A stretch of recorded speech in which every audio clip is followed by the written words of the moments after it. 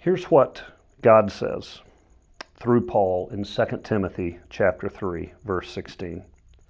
He says all scripture is God-breathed and it is useful for teaching, rebuking, correcting and training in righteousness so that the person of God may be thoroughly equipped for every good thing.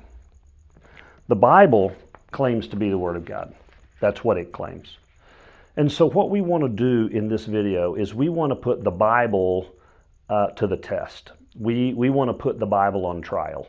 Just as in the last three videos we put God on trial, we're going to put the Bible on trial. And we're going to ask is there some evidence that would prove that the Bible isn't the Word of God, or is there some evidence that would prove the Bible is the Word of God? Uh, most of the time, when I have this conversation with people and I ask them, What evidence do you have that the Bible isn't the Word of God? Uh, they don't have a whole lot to say. They will occasionally say, Well, uh, you know, it's not historically accurate, or Well, uh, they, you know, the way that they put the documents together, the way that they put the Bible together. Usually their information comes from uh, some show on the History Channel or the National Geographic Channel uh, that is, I don't mean to be blunt, but it's just full of lies and false information. You know, it'll be about the Gospel of Thomas or the Gospel of Judas and how they should have been involved in the canon, or that the Bible was created by the, the church, you know, 300 years after uh, Jesus' life, and it was just, it was, they make it feel like it was just this arbitrary group of people that got together and said, hey, yeah, let's throw these books together, and there's all these books that are left out, and it's a conspiracy, and so therefore you can't trust the Bible. That's what I get. And I want you to know none of that is true. None of that is true, and I'm going to show you that today. So here's what we're going to do we're going to put the Bible on trial. Uh, there's a lot of information here. I'm not going to go into detail. I'm going to keep it like I did with the existence of God at a, at a 50,000 foot level. I'm going to give you some things to think about, and then if you will go check them out, you'll find that what I'm saying is true. Okay, so I'm going to, I'm going to do this. I'm going to ask three questions about the Bible because a lot of people say that the Bible is not true, it's not the Word of God, it's myth, it's legend, it's whatever. So we're going to ask three questions. Is the Bible unique?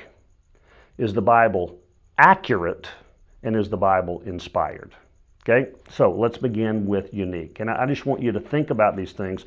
Not one of these uh, evidences is going to absolutely prove the Bible is the Word of God, but I think when it's put all together, I think the evidence is so conclusive that beyond a reasonable doubt we can know that the Bible is the Word of God. So is it unique? Absolutely. It's very unique in its composition. Listen to this, and if you're familiar with Christianity at all, I'm sure you've heard this quote. The Bible is composed of 66 books written over a 1600 year span by 40 different authors from 40 different generations from numerous walks of life in various moods and different literary forms on three different continents in three different languages. And yet, as a whole, the Bible has a remarkable continuity or unity about it on a variety of subjects. I don't know if you've ever heard that quote, but that's that's a pretty well-known quote from those who have done study of the Bible. So when you think about it, okay, this this book, the Bible, this is my Bible. Uh, this thing is is a lot of pages. It's over 2,000 pages the way that mine is put together and it was written over 1600 years. Now think about how unique that makes the Bible. Every other book is written what? In a year or 2 years or 5 years or 10 years. It's written by one author or two or a collaboration of a few contemporaries. And that's how books are written. But the Bible was written over 1600 years. I want you to think about that. 40 different authors from all parts of life, three continents, three different languages. Many of them writing never knew about the writings of the other people and yet, can you imagine someone riding over here and someone riding over here and someone riding over here, and they're writing all these things, and yet they come together seamlessly and perfectly without contradiction? How is that possible? How is that possible? And yet, that's exactly what happened in the Bible. Now, you may say, well, there's contradictions in the Bible. Look, the Bible is very clear that God wrote the Bible through human beings, but He allowed human beings to give their thoughts and expressions. They weren't in a trance when they were writing. And so in the Gospels, for example, the, guys remembered different things from those stories and saw it from different point of views. And so there's minor differences in the way they tell the stories. but the overarching theme and truth of the story is identical throughout the Bible. It is very unique in its composition. It's also unique in its circulation. I want you to think about this. It has sold billions of copies more than any other book. It's been a bestseller for 200 years. I want you to think about that billions more. If you'll just Google best selling books of all time, what you'll see is Bible, 5 billion. That's what you'll get, 5 billion. Second book is uh, the Communist uh, Manifesto from China, basically 1 billion copies. 1 billion copies. Think about how many people are in China. Basically, the Chinese government took the, the, the manifesto, created a billion copies, and gave them to every person that lives in China. Next is the Quran at about 800 million, and then it drops to about 150 million there uh, with the Lord of the Rings, by the way. But the Bible has sold 4 billion more copies than any other book. That makes it very, very unique. The question comes why do so many people buy a Bible? Why do people not throw Bibles away? Why do people buy four or five Bibles? Why are people, I, I, know people and they just, they just can't throw a Bible away. Well, why is that? Because intrinsically they know the Bible is the Word of God. These are sacred words.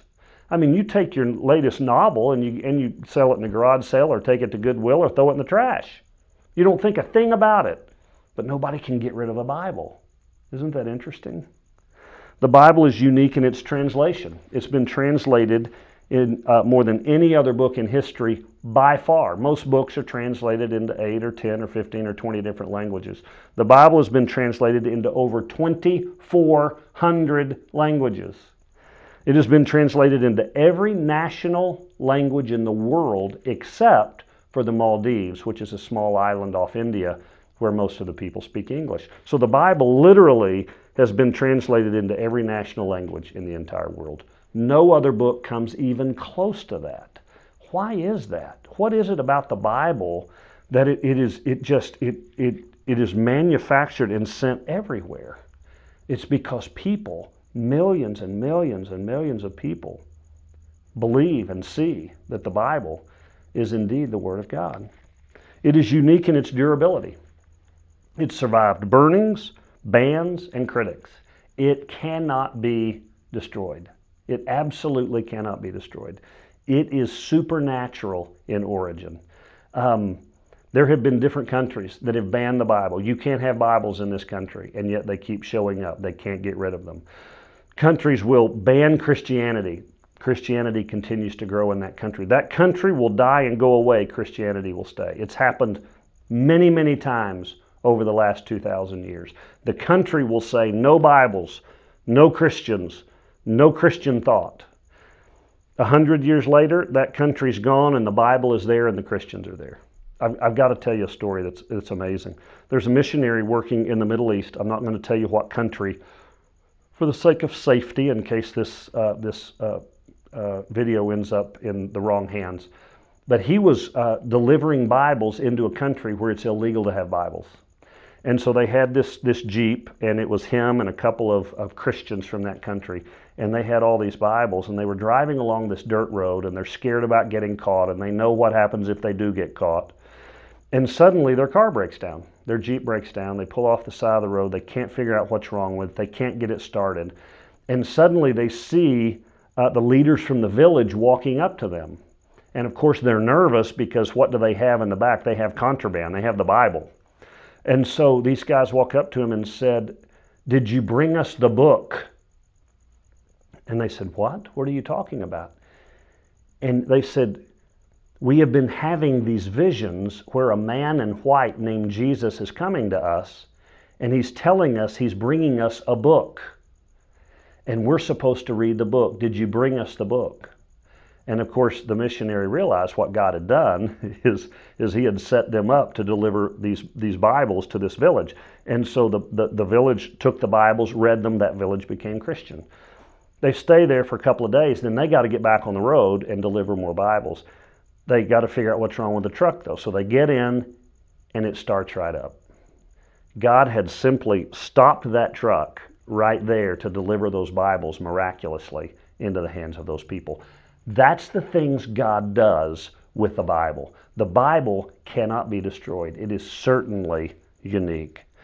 And then finally, it is unique in its impact on lives. It's unique in its impact on lives.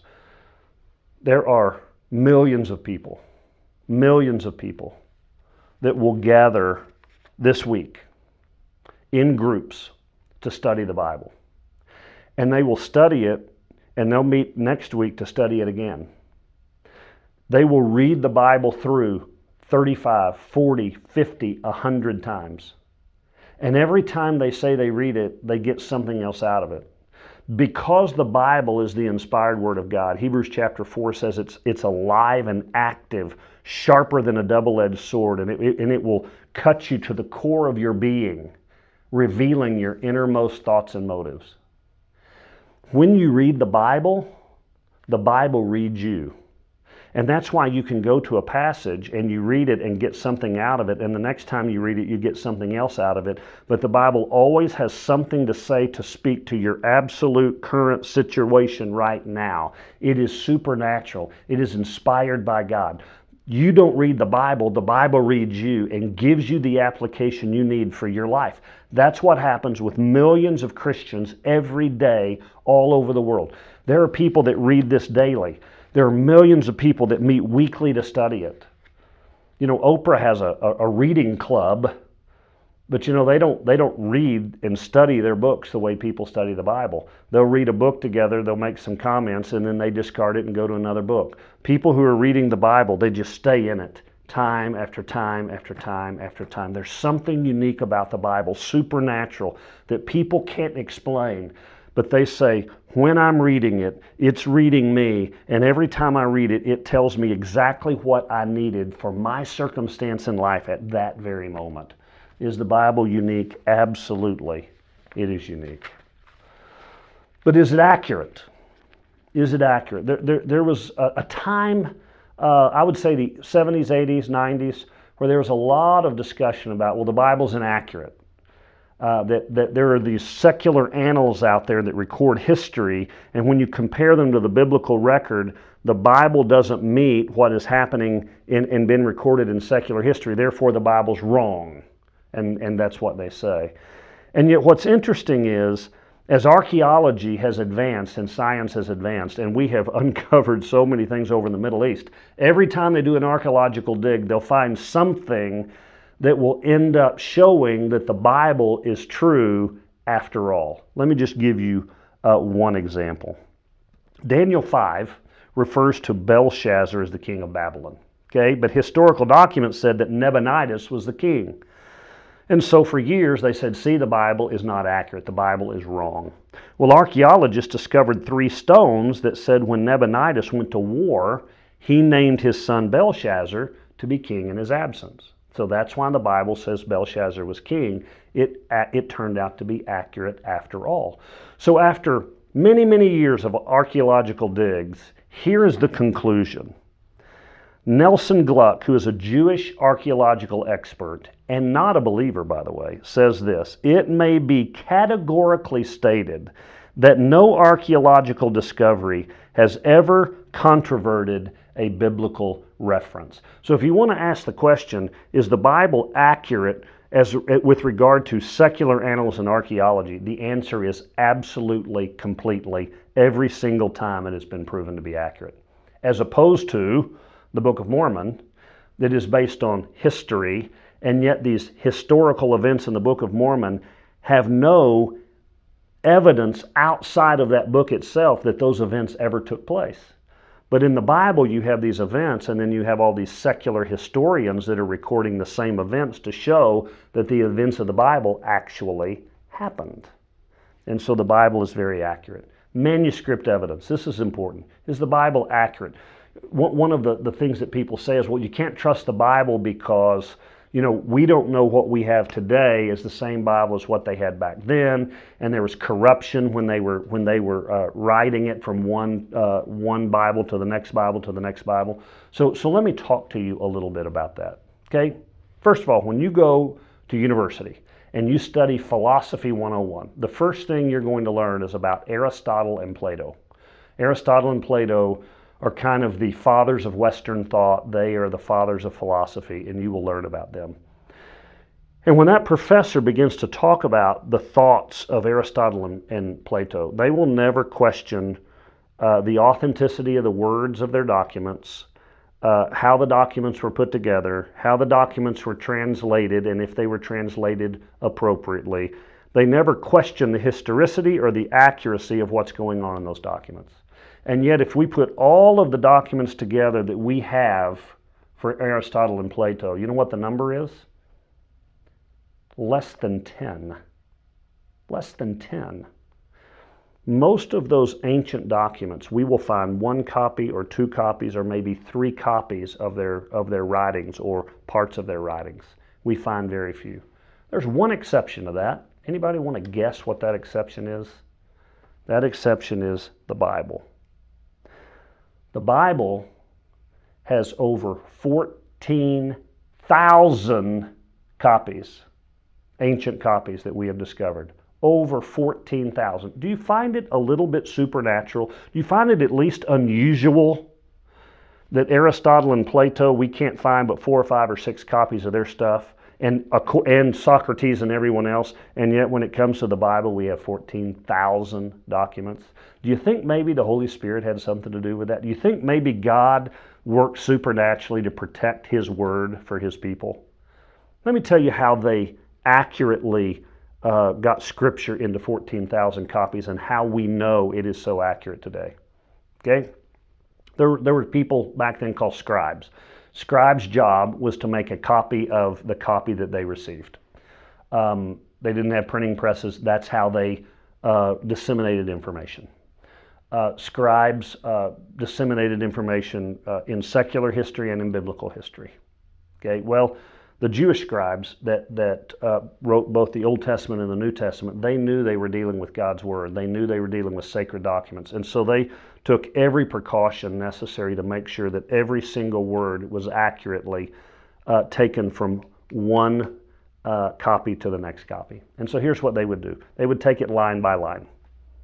And this line, uh, the first scribe would write that line. He would hand the document to the second scribe who would then compare it back to the document to make sure that line by line, word by word, everything was absolutely perfect. At the end of a page, they counted the number of words, and if the number of words on that page did not equal the number of words on this page, they had to tear it up and start all over. That's how meticulous they were. So, in other words, it was very, very difficult for someone to just take a copy of the Word of God and add what they wanted to add because they had another scribe looking over their shoulder, making sure it was absolutely perfect. Now, was it absolutely perfect? No, there were, there were small matters. There, there were times where some of these scribes would, would come together and add a little phrase. And so what happens is out of 14,000 documents, you'll find a series of documents maybe out of let's say North Africa, that added a little phrase to a certain verse, and so you have 300 copies from North Africa that have that phrase. Well, because you have another 13,700 copies that don't have that phrase, we know that phrase was added by those scribes. And so we're able to, because of the volume of copies, know exactly what was the original writing and what was added the few times that it was added through history to take those out to make it accurate. The Bible is the absolutely the most accurate uh, ancient book ever recorded, and we know because of the way they put it together that they did it perfectly, and it's exactly what God wanted us to have. There's 185,000, I'm sorry, 184,590 words in the New Testament.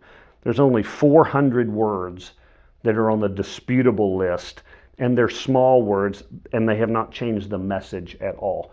The document of the Bible we have today is an accurate representation of the Bible they had in the first century, in the second century, in the third century, because of the painstaking way in which they made sure that it was accurate. And so the manuscript evidence says that the Bible is incredibly accurate. It's exactly what we have today is what they had back then. God assured it because he worked through that process. Now, people will go, yeah, but what about the way the Bible was put together? I mean, the, the Catholic Church in 300 AD put together this assembly and they voted on these books and they left out all these other books and they left them out because there was because there was a conspiracy in the church and there was corruption in the church and so the Bible is corrupt. None of that is true. None of that is true. When when they codified the Bible in the 3rd century and began to say these are the 27 books that are going to be in the New Testament they were simply making official what the early church had known all the way back to Jesus' day. And I want to show you that out of Scripture. I'm going to take you to uh, 2 Peter chapter 3. Peter is writing this book in probably around 70 AD. Jesus died in 33 AD. So we're talking, you know, not very many years after Jesus had died. The apostles were still alive. The apostles were the ones that were with Jesus and, and began the process of writing down all of this information. Paul, who wrote most of the New Testament, started writing in about uh, probably 55 AD and wrote to about 65 AD. That was where most of his writings were. Okay, so his writings at the time Peter wrote this were 5 to 15 years old, depending on the book. Okay, so here's what Peter says. Bear in mind that our Lord's patience means salvation, just as our dear brother Paul also wrote you with the wisdom that God gave him. He writes the same way in all of his letters, speaking in them of these matters. His letters contain some things that are hard to understand, which ignorant and unstable people distort as they do the other scriptures to their own destruction. In 70 AD, Peter writes and says, the things that Paul wrote five years ago and 10 years ago, we already recognize them as Scripture. They are Scripture. And so it wasn't that a bunch of people got together and took a vote 300 years later and says, hey, let's just put all these books together and make our Bible. No. From the very beginning, the first generation of apostles knew what Scripture was and what Scripture wasn't. And the church they, they, had, they had not officially codified, but they had this body of evidence that these are the books that are the New Testament. And all that happened in the third century was they made that official. And there's a reason that the Gospel of Thomas and the Gospel of Judas and all of these other books aren't in there. That's because from the very beginning, the apostles had some very strict criteria on what would, would be scripture and wouldn't, and it had everything to do with authorship and and the doctrine within those books. And the 27 that are in there were seen from the very beginning and are codified together. And so there is not a corruption in the church that caused the Bible to, to leave out a bunch of books that should have been in there. The Holy Spirit orchestrated that process. So the Bible is very, very accurate in the way it was put together and the way it has been recorded and kept throughout the ages. Finally, accuracy. I, I, I want to talk a little bit about the miracles because uh, people get hung up on the miracles and say, well, the Bible's ridiculous because look at all these miracles. These miracles couldn't have happened. And we'll talk about this a little bit uh, next week in the video on Jesus and Jesus claims to be the Son of God. But I want you to think about miracles for a minute. The Pharisees hated Jesus, they hated him, but they didn't want to kill him. They ended up having to kill him because that was their last resort. But you know what they wanted? They wanted to discredit him. There were many men in the first century that claimed to be the Messiah that would gather followers, and they would discredit them, uh, or the Roman government would come in and squash the movement. But they just wanted to discredit Jesus, is all they wanted to do. All they had to do was discredit Jesus, was show that one of his miracles was fake. Find somebody who said, Yeah, he paid me off to pretend he did this. Find somebody that says, Yeah, this is how Jesus does his tricks. Find somebody to admit that the miracles weren't real. Or, or just as interestingly, the secular annals of that time recorded the miracles as well as fact. And so the miracles are actually proof that the Bible is indeed the Word of God because they are true. And the reason we know they are true is because the wealthiest, most powerful people in that culture were doing everything they could to disprove and discredit Jesus who performed the miracles. And as hard as they tried, they couldn't discredit any of them. Which leads you to know what? They're true. But we'll talk about that more next week. So finally, we're going to ask the final question, and that is this.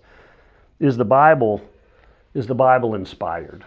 Is the Bible inspired? A couple things I want to say on this.